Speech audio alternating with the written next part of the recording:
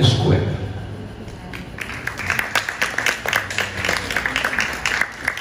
Magandang gabi po sa lahat ng nandito. Ang pamilya po namin ay nakikiramay po sa pamilya ng Tita Susan.